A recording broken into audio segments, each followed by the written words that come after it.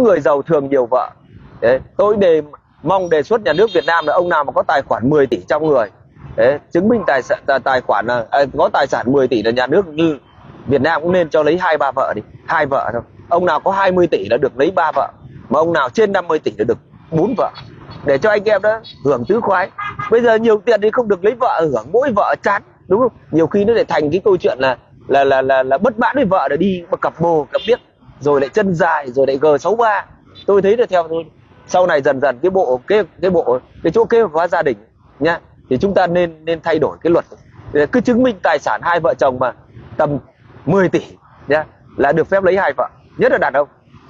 Nên là 20 tỷ là được hai vợ, ba vợ. Còn 50 tỷ trở lên là được ba vợ. Để cho con cháu nó đông.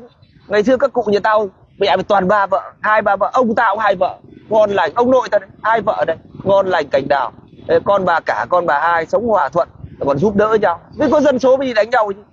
Với có dân số mới đi mở cõi chứ. Đúng không? Thì theo tôi là cứ bây giờ giàu có bây giờ rực mỡ. Bây giờ mình làm ăn bao công sức giàu có thì có được mấy chục tỷ thì phải để vợ con chi?